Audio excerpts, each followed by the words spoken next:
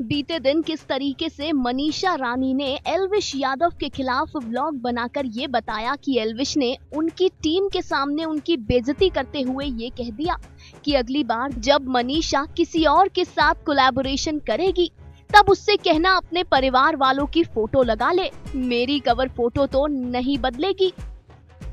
एलविश यादव के ऐसा करने के बाद मनीषा ने एलविश की पोल पट्टी अपने व्लॉग में खोल डाली। फिर एलविश यादव सामने आए और मनीषा रानी का मज़ाक उड़ाया। दरअसल जिस ब्लॉग में मनीषा ने ये बताया था कि उन्होंने एलविश को अनफॉलो क्यों किया उस व्लॉग में मनीषा रानी ने एक फेस वॉश की एड भी की थी।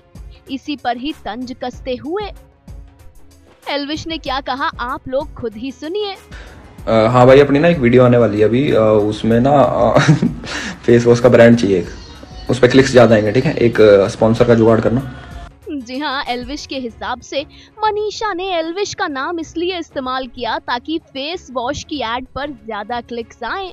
एलविश की इस हरकत के बाद मनीषा फैंस काफ़ी गुस्से में हैं।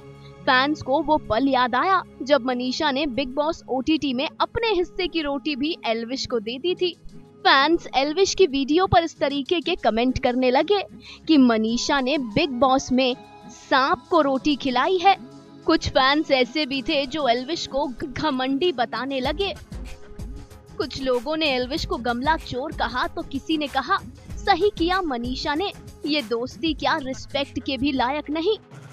वेल well, जो भी हो एल्विश मनीषा ने बिग बॉस में आपका ख्याल तो बहुत रखा है लेकिन आपने उस ख्याल का भी ख्याल नहीं रखा। अपने स्टारडम के घमंड में इतने चूर हो चुके हैं आप।